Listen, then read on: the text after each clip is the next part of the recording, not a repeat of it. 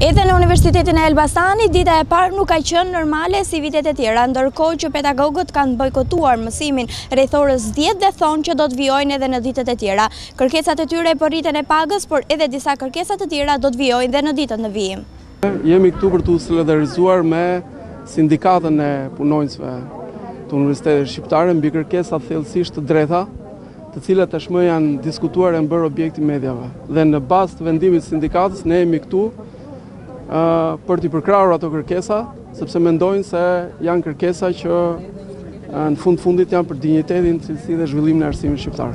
Pedagogët në Elbasan janë shprehur të vendosur se nuk do të ndalin protestat pa u plotësuar kërkesat e tyre, duke nisur nga rritja e pagës dhe kushtet në auditore. Unë mendoj se nuk ka shumë rëndësi numri, Më shumë rëndësi ka kauza për cilën ne protestojmë. Unë jam i bindur që dhe ata që nuk janë në këtë shesh sot janë dakord me kërkesat më se legjitime të tyre. Ne kemi qenë në 2018 në përkrah të studentëve, kemi qenë e kemi treguar përkrah kërkesave të tyre mbështetjes ndaj atyre kërkesa që dhe ato u dukën më se të drejta dhe koha e tregoi.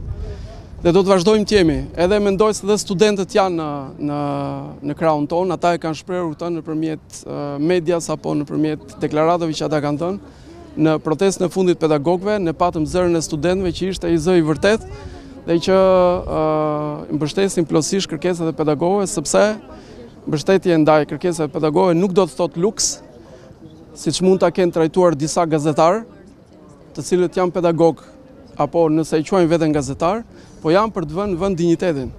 Ju e dini se rroga e një pedagogu sot është një rrogë qesharake për statusin që ata duhet të kenë dhe për punën që bëjnë. Vila theksoi në vijim të fjalës së tij se pavarësisht se nuk janë të gjithë pedagogët këtu, edhe ata janë përkrahës të plotë të kësaj kauze. Jemi në përputhje me vendimin e sindikatës, Kemi qenë këtu prej orës 8 duke orientuar studentët nëpër auditore, duke i sqaruar rregulloren e universitetit dhe planin mësimor, gjithçka që është e nevojshme për fillimin e studimeve, studentët e vitit të parë kam parasysh, dhe siç e shihni prej orës 10 jemi këtu.